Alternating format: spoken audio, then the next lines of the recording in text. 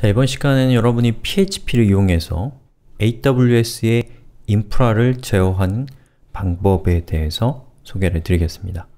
자, AWS SDK for PHP라고 하는 소프트웨어가 여러분들이 필요한데요. 아, 요걸 하기 전에 어, 우리가 지금 하는 수업은 이 PHP를 이용해서 AWS를 제어하는 방식이고 PHP를 이용하는 방법, 또 인프라, 또는 어떤 실습 환경 이런 것들은 제가 만든 수업 중에 여기 있는 링크를 클릭해서 들어가 보시면 자, PHP 실습 환경 구축이라고 하는 파트가 있습니다. 저기에서 제가 Apache PHP MySQL을 어, 설치하는 방법을 소개해 놨으니까요. 여러분들은 이걸 보시고 준비를 마친 다음에 이 수업을 보셔야 됩니다. 아시겠죠? 자 그러면 이 요걸 하기 위해서는 우리가 뭐가 필요하냐면 어, AWS SDK가 필요합니다. 그러면 뭐 링크를 제가 제공해 드려도 좋겠지만 이런 거는 검색해서 찾는 거예요. 자, AWS 키워드를 한번 추천해 볼게요. SDK 그리고 PHP 이 정도로 검색하면 아마 거의 100% 이런 페이지로 이동하게 될 겁니다.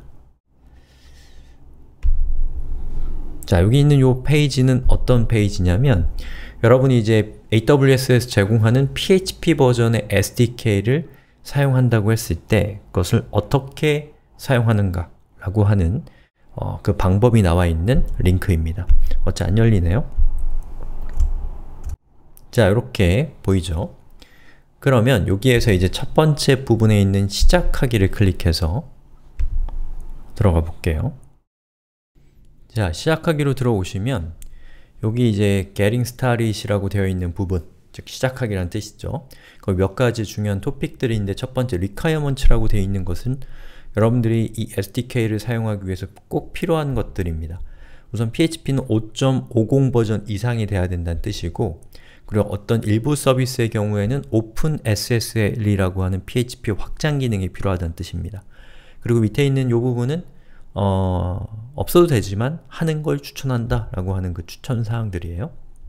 자, 그 다음에 SDK 여기 installation이라는 것을 클릭해 보면 어, 이 SDK를 사용하기 위해서 여러분이 인스톨하는 방법이 이렇게 나와 있습니다. 자, 그 중에서 여기 보면은 install composer라고 되어 있는 거 보이시죠? 이 composer를 이용하는 방법이 설명되어 있는데요.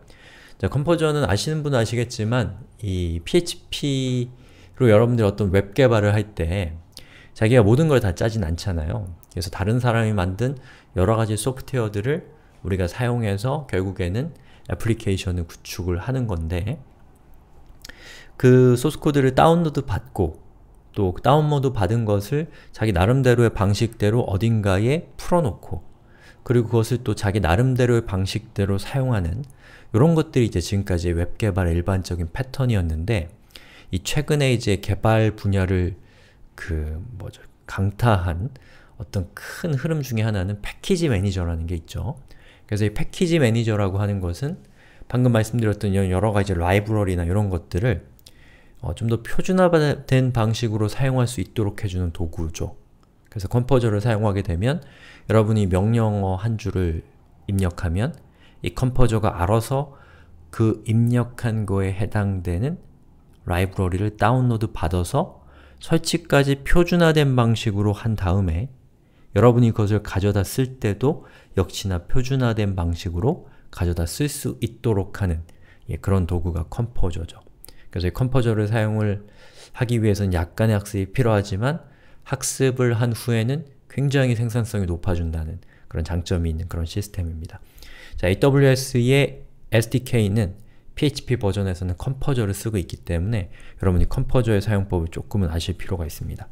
하지만 뭐 제가 설명드리는 거 그대로 하셔도 사용하실 수 있으니까 일단 지금 composer로 빠지지 마시고 이 수업을 들으시면 되겠습니다. 자, 여기는 링크를 클릭하면 이제 composer를 사용하기 위해서는 composer라는 소프트웨어가 우리가 설치가 되어 있어야 되거든요. 그거를 이제 설치하는 명령이에요. 자, 그러면 우리 어, 우리의 웹 애플리케이션이 위치하고 있는 디렉토리로 이동을 할게요. 자, 저 같은 경우는 var 따따따의 html이라는 디렉토리에 이제 document root가 있습니다. document root는 웹 서버가 어떤 파일의 요청을 받았을 때 그 파일을 이 컴퓨터에서 찾아내는 최상위 디렉토리가 document root죠. 자, 여기에다가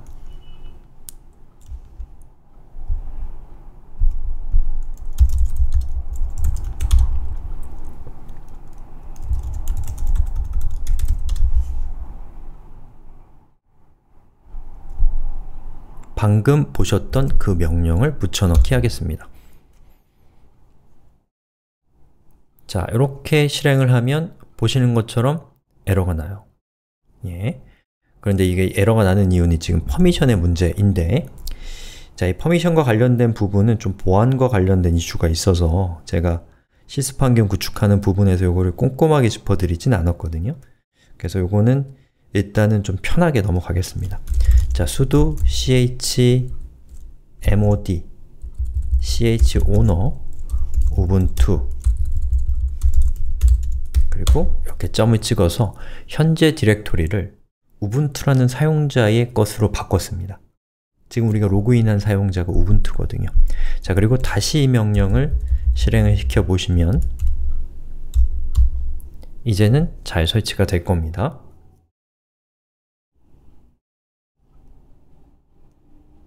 음, 이렇게 해서 composer를 인스톨하는 게 successfully 됐다.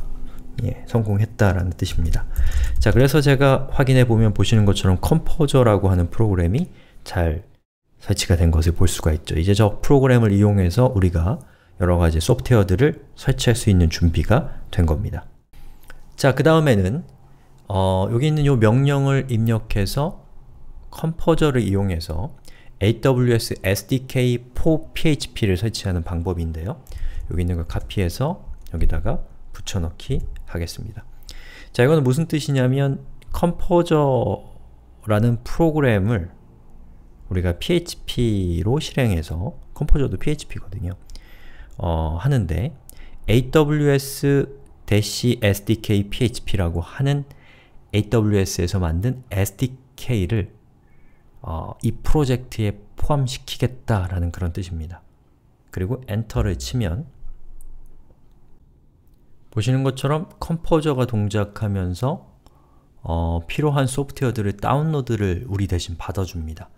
그리고 이제 여기 보시면 SDK가 있는데 그 외의 것들은 바로 컴포저에서 그 AWS, AWS SDK for PHP에서 사용하는 다른 의존 관계에 있는 소프트웨어들을 보여주는 화면이에요.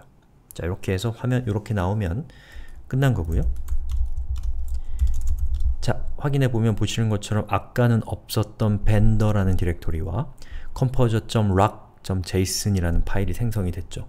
자, 그 중에서 이제 composer.json이라는 파일을 제가 열어보면 이렇게 생겼습니다. 즉, 이 프로젝트에서는 AWS SDK PHP라고 하는 어, 소프트웨어를 사용한다라는 뜻이고 이 벤더라는 디렉토리 안에 AWS SDK가 저장이 되어 있습니다. 자 그러면 요걸 이제 사용을 해야죠. 그럼 여기 적혀 있는 것처럼 이렇게 이렇게 코드를 작성을 하게 되면 이 컴포저를 통해서 우리가 가져온 저 소프트웨어를 뭐랄까요?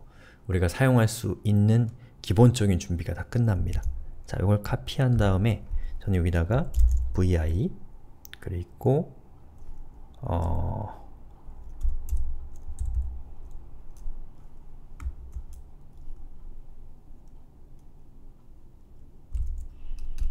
ec2.php라고 해볼게요.